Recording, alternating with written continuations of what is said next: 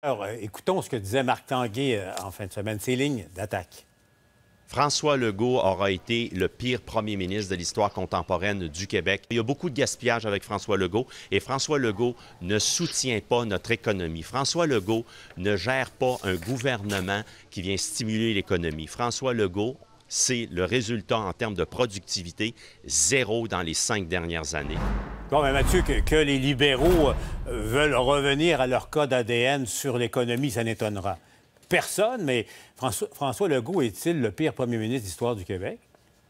Non, j'en ai pas l'impression. Euh, mais je pense que M. Couillard pourrait réclamer le titre. Mais cela dit, moi, je me mets dans la peau des libéraux. Il faut vraiment, mais vraiment être coupé du Québec francophone pour se dire, hey, on va sortir Philippe Couillard, ça fait rêver.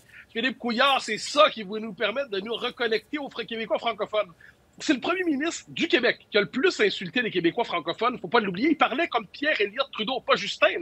Quand il disait, il souffle, parlant des nationalistes qui soufflaient sur les braises de l'intolérance. Il était toujours en train de soupçonner les nationalistes québécois d'être quelque chose comme des nationalistes intolérants. Alors, Philippe Couillard est responsable en bonne partie de la rupture profonde et peut-être définitive entre le Parti libéral et les francophones. Puis il nous leur sort pour faire rêver. J'ai l'impression que c'est le signe d'un repli du Parti libéral sur lui-même qui nous sort en fait ses vieilles gloires sans se rendre compte que dans le public, le seul souvenir qu'on en a, c'est un souvenir fondamentalement négatif.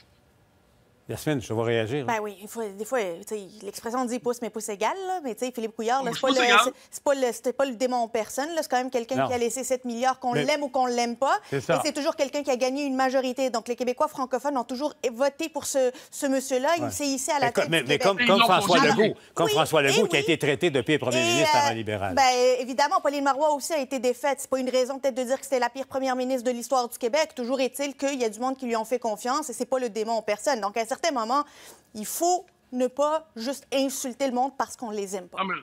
Ah, je, ne pense pas que c'est le démon. Je pense que c'est un premier ministre qui était fondamentalement antinationaliste, ben, anti-identitaire au sens large, qui préférait le Canada au Québec, qui a fermé, c'est particulier, il y a une responsabilité de Philippe Couillard. Le Parti libéral, depuis Jean Lesage, avait quelque chose comme une tradition nationaliste qui s'est poursuivie jusqu'à Robert Bourassa, puis ensuite qui s'est étiolée lui a rompu avec les derniers restes. Puis si les libéraux soient 6 chez les francophones, il faut quand même se le dire, c'est parce qu'une rupture profonde qui a eu lieu autour de ça. Rappelez-vous, Philippe Couillard, c'est celui qui dit que les employés, les ouvriers sur les lignes dans les usines doivent parler anglais pour être capables de parler au boss international qui viendrait les interroger. C'est mm. celui qui a voulu, puis qui n'a pas réussi à faire passer une loi pour interdire globalement la critique des religions. C'est quelqu'un qui fondamentalement était hostile mm. aux revendications collectives des Québécois. C'est Pierre-Éliott Trudeau, version Québec. Mais